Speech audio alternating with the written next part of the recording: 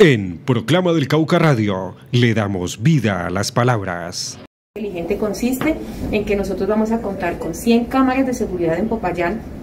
que es el compromiso de este gobierno, dentro de las cuales ya empezó la primera fase, que fue la compra de 42 cámaras a través de un operador que se llama ETV, y estas cámaras lo que van a hacer es reponerse en los puntos donde ya la inteligencia de Policía Nacional ha establecido que son los puntos calientes donde deben de estar ubicadas estas cámaras de seguridad. Estamos, como les decía, eh, con la primera fase, la aplicación en 42 puntos y de allí venimos con un nuevo proceso para lograr los 100 puntos de cámaras de seguridad, que es el compromiso que ha adquirido este gobierno. Estamos trabajando fuertemente en esto, ya empieza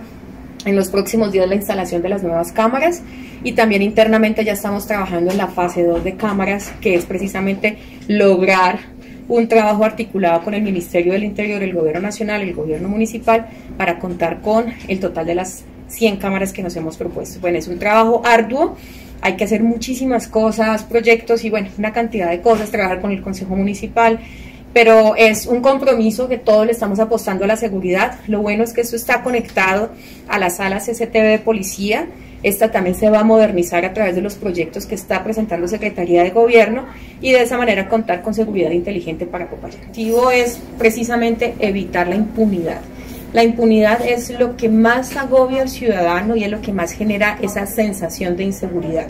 Cuando no le pasa nada a, aquel, aquella persona que está delinquiendo, cuando no actúa la justicia, efectivamente las personas sienten que no vale la pena denunciar y por eso no se presentan el número de denuncias que, eh, versus los casos que realmente se dan en la ciudad. Nosotros con esto no es que las cámaras nos vayan a mejorar la seguridad en un 100%, esto es un instrumento dentro de muchos instrumentos que estamos trabajando en nuestro Plan Integral de Seguridad y Convivencia Ciudadana, porque no es solamente tener la tecnología, sino también tener a ciudadanos listos, a ciudadanos que de pronto por diferentes situaciones están inmersos en temas delincuenciales, que nosotros los podamos sacar de ese contexto y, y buscar precisamente que el trabajo comunitario, el trabajo de las entidades, de las instituciones, el trabajo del gobierno tenga, eh, o sea, estemos ahí muy unidos buscando mejorar las condiciones de seguridad de Popayán. Que esto es fácil, no es fácil, que de la noche a la mañana lo vamos a solucionar tampoco. Yo creo que esto es un flagelo que le agobia a todo el mundo.